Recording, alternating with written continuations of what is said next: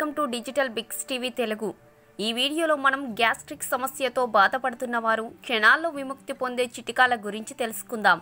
పూర్తి వివరాలు తెలుసుకునే ముందు మీరు ఇప్పటి వరకు మా ఛానల్ని సబ్స్క్రైబ్ చేసుకోకపోతే ఇప్పుడే సబ్స్క్రైబ్ చేసుకొని పక్కనే ఉన్న గంట సింబల్ని ప్రెస్ చేయండి. అలా చేయడం వలన మేము పెట్టే ప్రతి వీడియో యొక్క నోటిఫికేషన్స్ మీకు అందుతాయి. ఇక పూర్తి వివరాలకు వెళితే గ్యాస్ సమస్య ఉన్నవారు సరిగ్గా తినకపోవడం మరియు తిన్నది జీర్ణం కాకపోవడంతో కడుపులో మంట వంటి సమస్యలతో సతమతమవుతుంటారు. గ్యాస్ వల్ల పొట్టలు ఉబ్బరంగా ఉన్నట్లు అనిపిస్తుంది. మరియు ఎక్కువగా కడుపు నొప్పి అజీర్తి వంటి లక్షణాలు కనిపిస్తూ ఉంటాయి.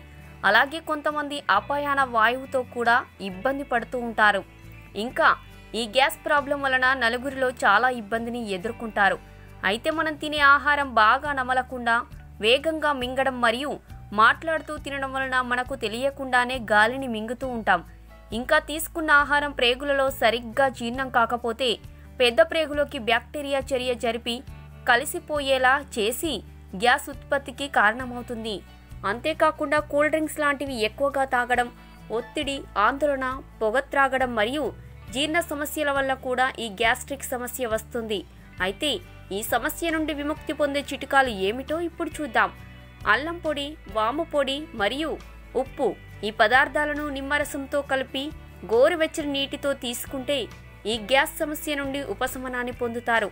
అలాగే యాలకుల పొడి సొంటి పంచదార ఉప్పుల మిశ్రమాన్ని సమపాలలో తీసుకొని పల్చటి మజ్జిగలో కలుపుకొని సేవిస్తే కూడా గ్యాస్ సమస్య నుండి ఉపశమనం పొందవచ్చు.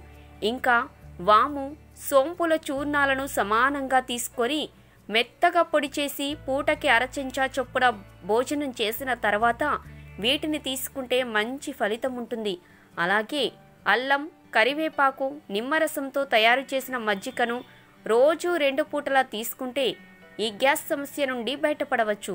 ముఖ్యంగా తులసి ఆకులను నమిలితే కడుపులో గ్యాస్ ఏర్పడదు. వీటితో పాటు మనకు పడని ఆహార పదార్థాలను తినకూడదు. ఇంకా ఎటువంటి ఆహార పదార్థాలనైనా తీసుకున్నప్పుడు గ్యాస్ సమస్య వస్తుంది. కాబట్టి అటువంటి ఆహార పదార్థాలను తీసుకోకపోవడం మంచిది. ముఖ్యంగా కూల్ డ్రింక్స్ కాఫీలను తాగడం తగ్గించాలి. ఈ వీడియో మీకు నచ్చినట్లయితే లైక్ చేయండి షేర్ చేయండి. అలాగే ఈ వీడియోపై మీ అభిప్రాయాలను కింద కామెంట్ రూపంలో తెలియజేయండి.